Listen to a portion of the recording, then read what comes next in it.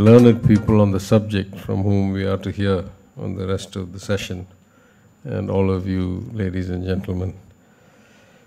There's a place when ministers should speak, and there's a place when they should listen. And something like innovation in deep tech and AI, there's not really that much for ministers to speak. So I'll try and keep my comments brief so we can get more time with the experts.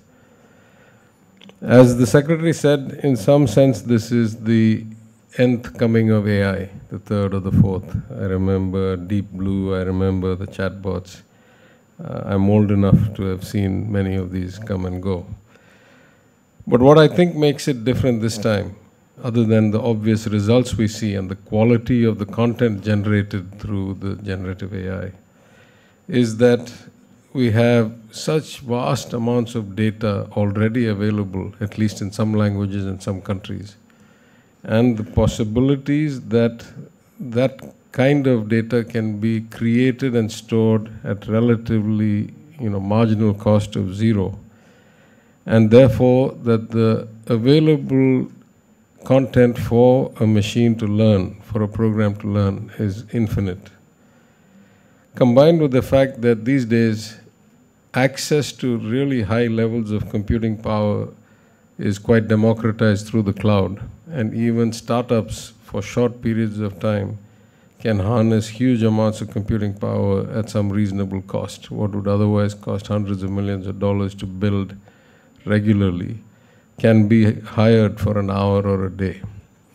I think the combination of these has really unleashed the creativity and the whole approach to how machines and human beings interact.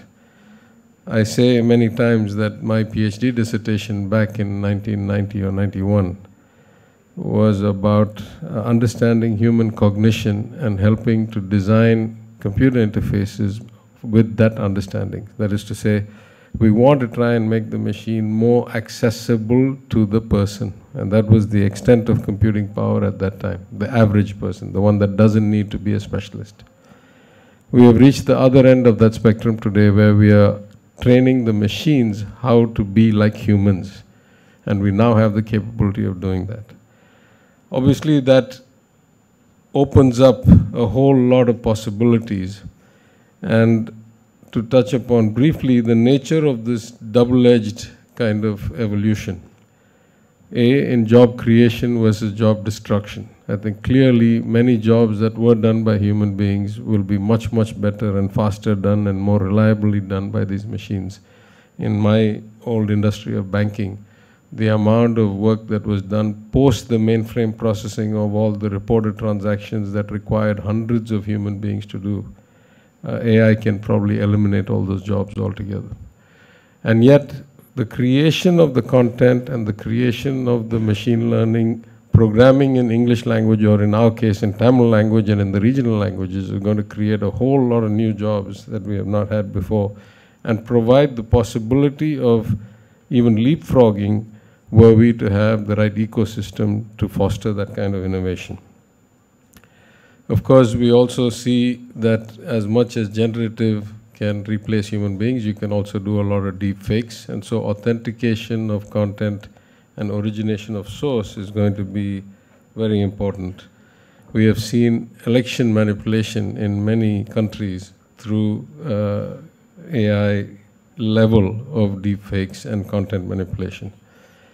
Somebody gifted me a book, and I was just reading it uh, earlier about how in the Russia Ukraine war, the battle for Kiev was effectively won by a bunch of programmers who got a bunch of drones together and were able to go and bomb out the advanced parts of a 40 kilometer long convoy of uh, Russian vehicles in such a way that the entire road was blocked and effectively changed what was otherwise sure defeat into eventual withdrawal of the Russian forces because then they used the same technology to go and bomb out the supply chain and so the, you, you had troops stuck with no way to go forward and not enough supplies to stay where they were. So this is the disruptive power, because what they could do is train these drones based on some of the camouflage uh, they had detected to identify where other likely camouflaged uh, vehicles and supplies were. So you look at all of this together, and I think this is going to be surely one of those inflection points uh, in my career. I've seen two or three of these. Uh, the widespread advent of converting analog and digital signals, which led to the ERP revolution and the automation of factories, the internet and email, which led to a different kind of connectivity, the Internet of Things, which led to a different level of automation and efficiency. And this is probably even more impactful than all of that together. As far as the government is concerned, I would say broadly there are three areas we're focused on when it comes to deep tech and AI. The first and by far the most important to somebody like me who comes from a social justice philosophy and equity and inclusion agenda to public life is that we can change the way government functions. We can remove a lot of the human elements and the disruption that bad human elements can create in processes. And we should be able to make it so inclusive that even the lowest level of education with voice interaction should be able to get resolution of their requests or needs from the government without having to worry about, you know, running from pillar to post and seeing 10 different officers. So the way government functions and the way government interacts with citizens, we hope will be our primary target for where we can apply these kinds of technologies and improve.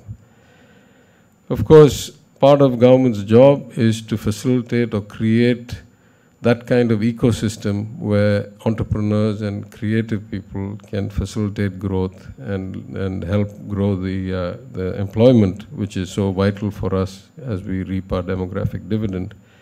And I think in the case of Tamil Nadu, where we have fallen a bit behind other states or other cities, at least in perception and branding, uh, this technology and this paradigm shift offers us the opportunity to leapfrog some of the more traditional players and create a center of excellence or an ecosystem of excellence, not even a center, around AI and deep tech in Tamil Nadu and use that and the brilliant uh, and very talented and the huge magnitude of engineers and, and scientists that Tamil Nadu graduates every year to actually leverage the benefits of our education system and get jobs and growth. And then, of course, though it's very hard for states to regulate things at a you know technological level, it's an international business in some sense. It's a national policy making, but to have inputs uh, in our own way into the regulation and responsible use of such technologies, and to have uh, our uh, responsible um, you know, our, our, duties to the citizens properly uh, input through these technologies, especially as we fear about the quality of democracy deteriorating in general. So I think with those objectives, uh, I'm here to learn as much as everybody else, and so I won't say much more. Uh, it's a very exciting time uh, for us, for the world, for the technology, for the young people, and I hope that in the next uh, 75 minutes or so, we'll all come away from this uh, much more enlightened and with a lot of uh, thought-provoking inputs. And I thank you once again for coming. Thank you. Hi, sir. Such a pleasure seeing you today. I'm Samir Kudur from the US India Business Council. My question to you is, uh, as you know, India today holds the presidency for the Global Partnership on AI. So how big is the role of the states in discussions around GPA presidency? And uh, what are the things as far as regional languages concerned that you can perhaps put across to the central government in order to like, you know, incorporate these ideas? I must confess that we have at least not officially had any interaction yet with the government of India, so it's news to me. What you're telling me is news to me. Uh, of course, we have some of our very fine officers now serving in, in Delhi, and uh, in, among others, my old finance secretary, Mr. Krishnan, is the MeitY secretary. So we'll follow up with him. I, I don't have any insight yet. But I will say that part of the issue with uh, regional languages is that the data set and the uh, existing engines in English are so far advanced that it's going to take a bit of work for us. I mean, we have lots of people, we have a lot of history of the language, we have lots of data as a government. But to get all these into a digitized, machine learnable, and in many cases, voice learnable format is probably going to be one of the big uh, manual tasks, or and then even that some can be automated. I've been looking at technologies for that. But to create those data sets will be the basis for getting that level of sophistication that now exists in English into the regional languages. And it's our job to do that because we all want to preserve our mother tongue and our language.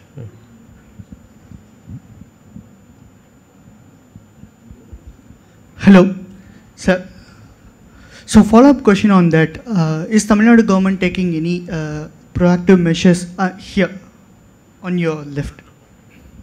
So is Tamil Nadu government taking any proactive measures? Uh, there are some uh, instance of small startups leveraging. Uh, also, there are uh, challenges, concerns raised by the technologists. They say that the inscription or the the you know the way the Tamil is in the internet, it is not easily be uh, encoded into this machine language algorithms uh, or what you call that in tokens. So uh, is Tamil Nadu government working on any of these areas?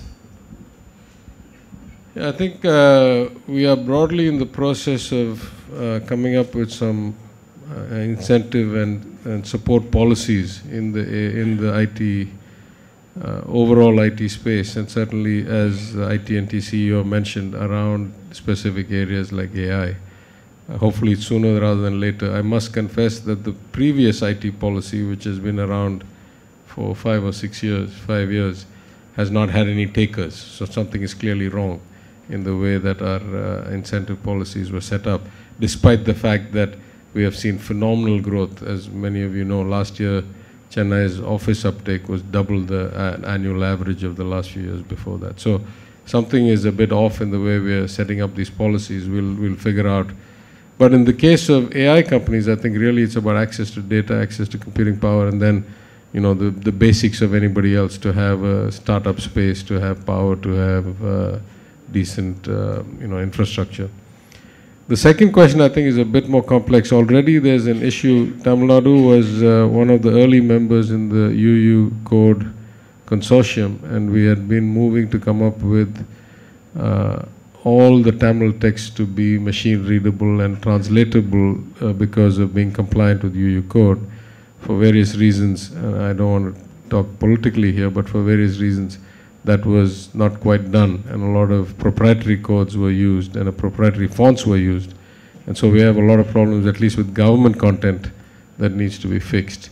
But there's a very clear solution, right? If they're all uh, universal code, they can be translated easily and machine read easily, and can the machine learning can be programmed easily. So the more we move towards the standard code uh, fonts, the, then I think we'll be better off. We had to do that for other reasons anyway we'll probably push even harder now for these reasons. Uh, hello, sir. Sir, on, uh, here on your left. Uh, That will be the I- last I- question. Yeah, I, I'm not sure I'm sophisticated enough to answer a lot of questions. Why don't we get the experts here? So anyway, Yes, the last Yeah, question. I'll yeah, keep it short. yeah. Sir. First of all, big fan. And uh, we've read about how OpenAI uses a lot of water in its data centers.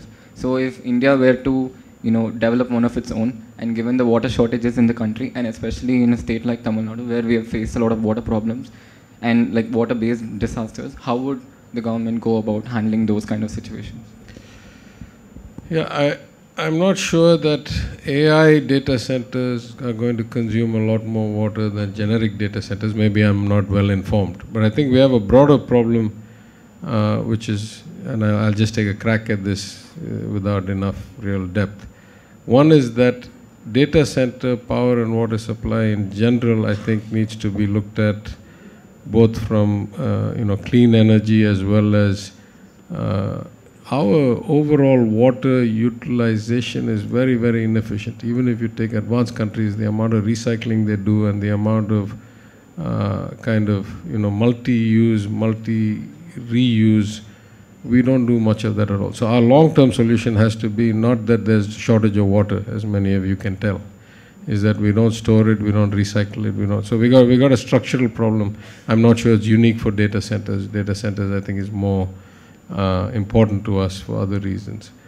But I think uh, the cooling technology also is changing quite a bit. I've started to see a lot more air cooled rather than water cooled, and there's some you know in, in efficiencies in the design. So I think the broader perspective, at least from government of Tamil Nadu's uh, view, is that we want renewable uh, energy and reusable cooling uh, systems uh, with, with a lot of uh, recycling cooling systems, and that will be true for data centers as much as it's true for any other, you know, purpose. And certainly, I don't think we have a separate policy for AI data centers compared to data centers in general. Yeah.